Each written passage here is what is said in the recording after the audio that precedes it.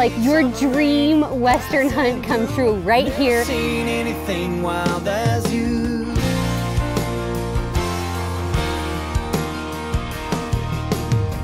Even those deer came in 30 yards from me. It's so awesome when it comes together. When the blowing up There he is. You're punching me in the face.